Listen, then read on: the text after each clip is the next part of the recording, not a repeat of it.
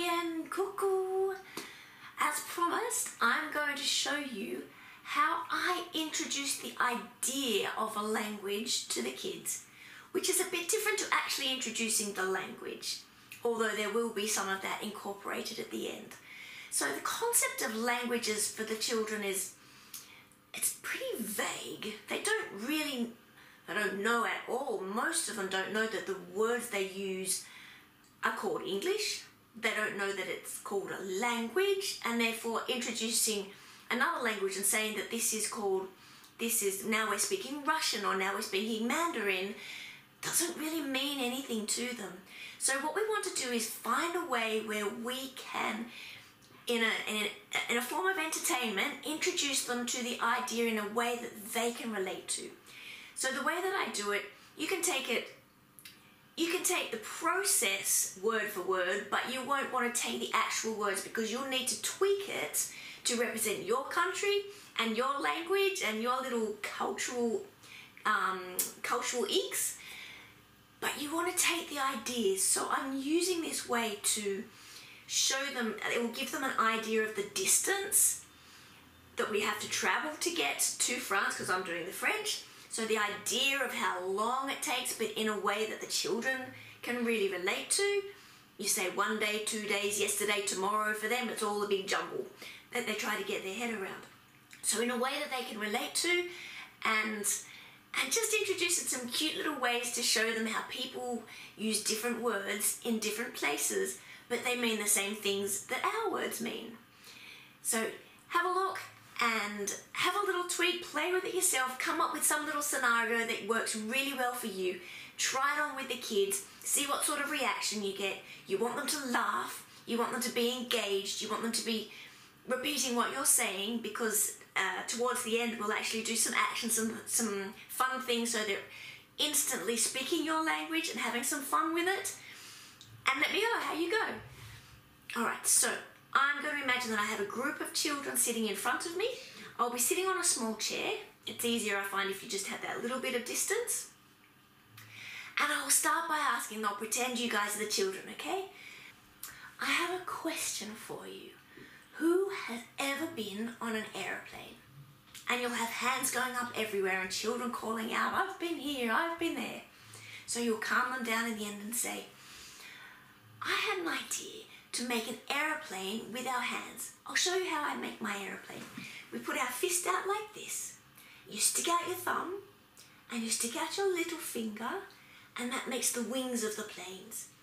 And let's imagine that we're in the aeroplane and we're at the airport in, what's the name of that country where we all live?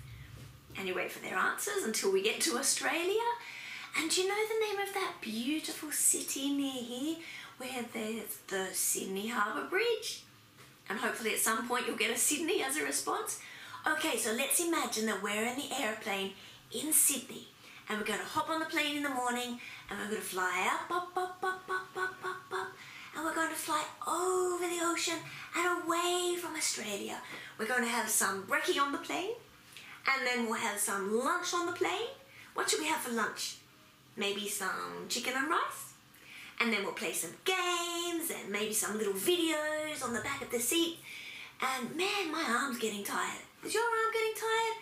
I'm gonna swap arms. Have to fly so far, keep going away from Australia, over the ocean. We'll have some dinner on the plane. What should we have for dinner? And listen to their responses. Maybe some sausages? Okay, sausages for dinner, and then we're all gonna go to sleep. And in the morning, we wake up and finally, finally we can land our plane down, down, down, down, down. And you put your hand on the ground. And we're in a different airport. We're not in Australia anymore. No, no, We're in another airport in another country called France, in another beautiful city called Paris.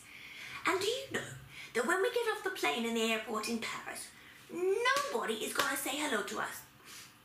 What? Nobody say hello to us? Nah, why nobody say hello to us? And generally the children will be laughing by then. They don't say hello to us because those French people, they do not say hello. Mais non, mais non. They say bonjour. Let's all say bonjour like the French kids. Everybody wave and say bonjour. That's funny, bonjour. And do you know that all the words that the French people speak, they're all different words to the words that we use.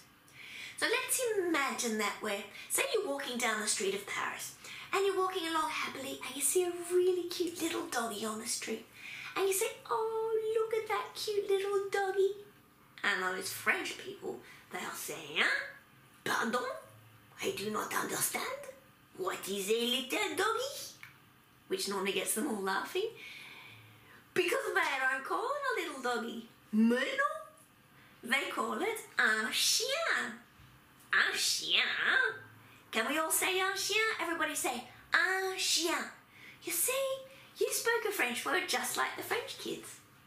And when those French kids they go to kindy, they don't sing Baa Black Sheep. Melo, melo. And they don't sing, they don't even sing the Wiggles. Mais non. But they do sing a pretty cool song about some bells ringing in the morning, going ding dang dong, and waking everybody up. Maybe you've heard of this song. It's called Frère Jacques. Okay, so this is where we'll all get together and sing Frère Jacques and have some action. So you would replace that with a cute little song that you have from your country, or perhaps you'll make one up. But there should be something that's easy for them all to. You want to find a song that's not too wordy and that you can put, do some actions that reflect what the what the words mean in the song. And um, and once we've done the song, I'll get I'll call out to everybody and I'll say, copy off me, okay? Everybody call out, are you ready? And the kids call out, are you ready?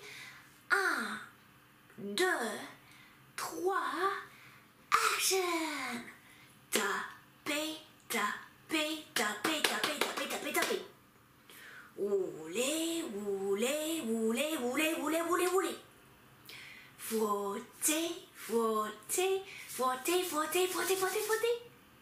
Secouer, secouer, secouer, secouer, secouer, secouer, secouer. Shall we go swimming? Nager, nager, nager, nager, nager underwater. The bubbles. Excuse me. So you could do something just like that in your own language. It's very easy, and the kids laugh. They just love it. And then I'll get them to again keep going. Say, everybody copy. Lundi, lundi, mardi, mardi, mercredi, mercredi, jeudi, jeudi, vendredi, vendredi, samedi, samedi, dimanche. Okay, I was on the floor then, so you go on the floor. Dimanche. Do you know what you just said? You just said Monday, Tuesday, Wednesday, Thursday, Friday, Saturday, and hopefully they'll all say Sunday, or some of them will, all in French. Hey, what day is it today? Does anybody know what day it is today?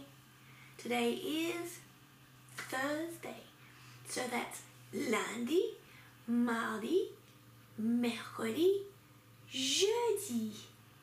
So actually, I would do it the other way. I say Monday, Tuesday, Wednesday, Thursday, lundi, mardi, mercredi, jeudi. Thumbs up, everybody. We're going to sing about jeudi.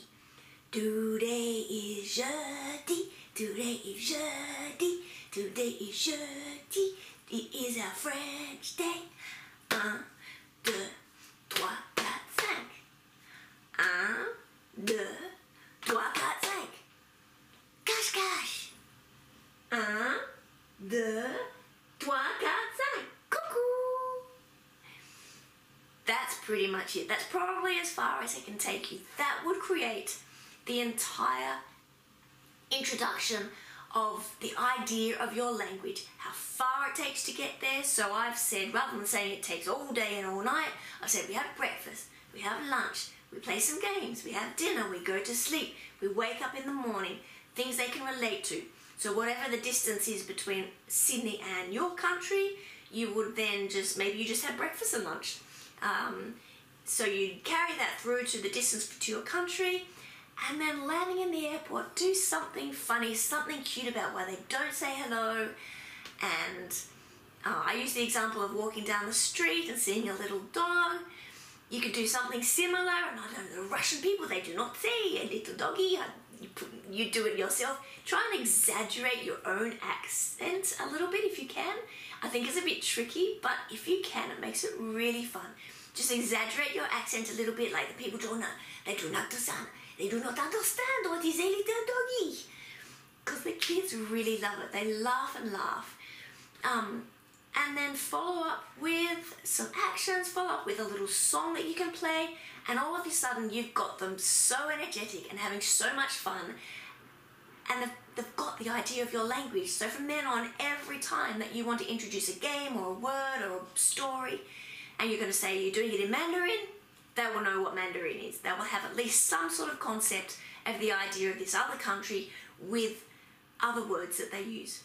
So I love it if you could have a try. Try and find a version that suits you of that kind of introduction, and I'm sure you'll have a big success. And then I would love to hear your stories. Okay, until next time, au revoir.